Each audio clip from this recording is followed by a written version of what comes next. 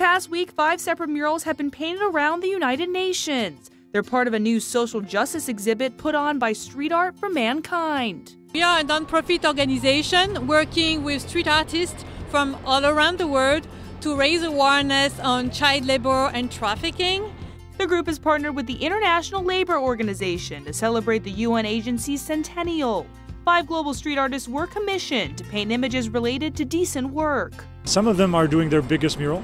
Uh, some of them I've done bigger than this, but uh, I think all of them are very happy to be painting here. We caught up with one of the artists, a New Yorker who currently lives in Barcelona. His mural titled Reflection aims to shed light on child labor and trafficking around the world and in our own backyards. The importance of the piece is, is this idea of, you know, children should be, you know, should, should have playful, nurturing childhoods. And that's not always the case, and we should all care about that.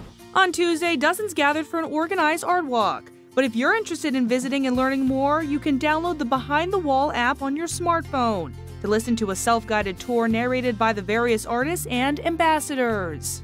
I really hope that they will be very much inspired and beyond the art, we really want to touch their heart because art is really a universal language and we want them to really reflect on the future they want.